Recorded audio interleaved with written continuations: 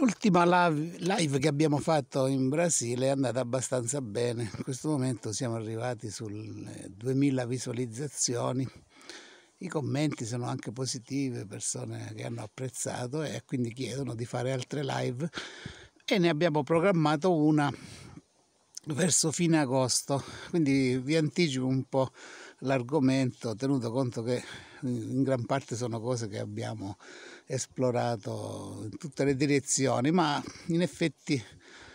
non abbiamo presentato questo, oh, questo disegno di Nostradamus che sarà un po' l'ospite d'onore. Qual è la questione? La questione sarà i sigilli dell'Apocalisse, la siccità e Nostradamus. Perché? Perché in Brasile, nel canale di Roger, seguono molto le proiezioni di Gil Brossard, che eh, diciamo, si lancia anche nell'interpretazione dell'Apocalisse e quindi eh, la questione è a quale sigillo siamo, quindi si sono, sono rimasti stupiti che noi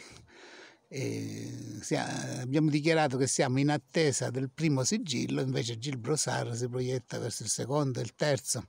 Teniamo conto che eh, i fenomeni cosmici potrebbero apparire intorno al quinto sigillo e quindi eh, noi sosteniamo la tesi che eh, il primo sigillo, il cavallo bianco, sia di natura religiosa, quindi la parola di Dio che si diffonde, il Vangelo viene praticato in giro per il mondo. Quindi eh, c'è una prima fase in cui, diciamo, le, come dice il Vangelo, tutte le piante che il Padre Celeste non ha piantato verranno sradicate. Quindi la provvidenza provvede a eh, fare pulizia della zizzania, di tutta questa confusione di sette, di non sette, Gesù di qua e Gesù di là, potrebbe mm, configurarsi la situazione che, che, dice Gesù, dice non vi preoccupate, alla fine dei tempi chi non è con me è contro di me, quindi non ci sarà più questa possibilità di di tanta scelta o, o, con Gesù o contro Gesù. E perché? Perché noi riteniamo che questa scoperta della teoria degli antichi astronauti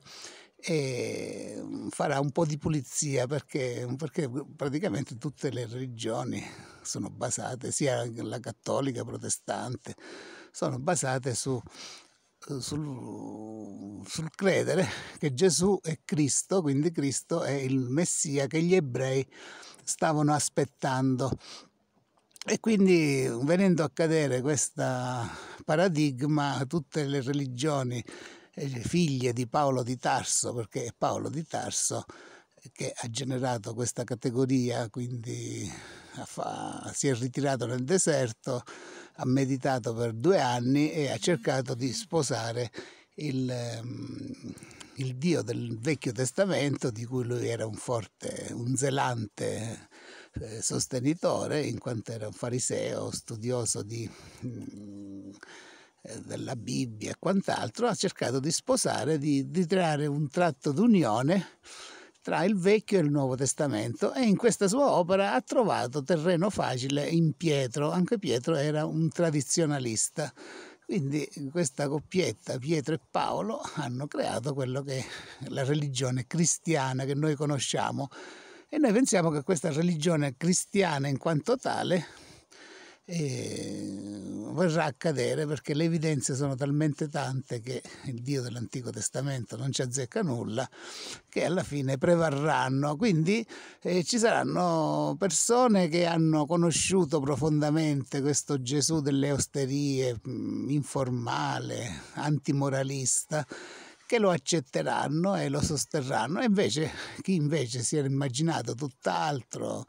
che aveva capito il contrario potrebbe diventare un ebreo, quindi questo è quello che noi pensiamo. E quindi secondo noi questo disegno di Nostradamus racconta questo, quindi il creatore, il Padre Celeste, chiamiamolo come vogliamo, fa vedere all'umanità qual è la vera parola di Dio, quindi la vera,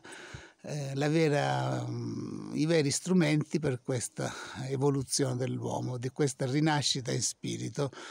E poi che sia questo il primo sigillo lo capiamo da due cose, nostra, chiaramente nella nostra interpretazione di questi sigilli. Quindi il cerchio vuoto in alto per noi eh, si intende che non ci sono ancora interferenze di Nibiru con la Luna. Quindi in questa fase in cui noi potremmo essere vicini, se non eh, dentro fino al collo, teniamo conto che la Chiesa è immersa in subbuglii giganteschi e quindi in questa fase non ci sono fenomeni cosmici quali disturbo dell'orbita della Luna, mancati eclissi. Invece noi in basso leggiamo la posizione dove si trova Nibiru. Teniamo conto che questa, a causa di questa questione della parallasse, quindi della rotazione della Terra intorno al Sole, eh, il, anche se il pianeta Nibiru è fermo in una costellazione, noi lo vediamo muoversi e quindi noi pensiamo che sia in Orione nel Toro. Quindi questi due segni in basso sono il Gemelli e l'Ariete, che sono, quindi sono due segni che stanno intorno a Orione. Quindi eh, diciamo durante l'arco dell'anno, quindi mm, con la rotazione del Sole, la posizione apparente di Nibiru sposta tra i gemelli è l'Ariete, quindi al centro, eh, se voi fate una media, il punto medio è proprio Orione, tra i gemelli e l'Ariete. Quindi significa che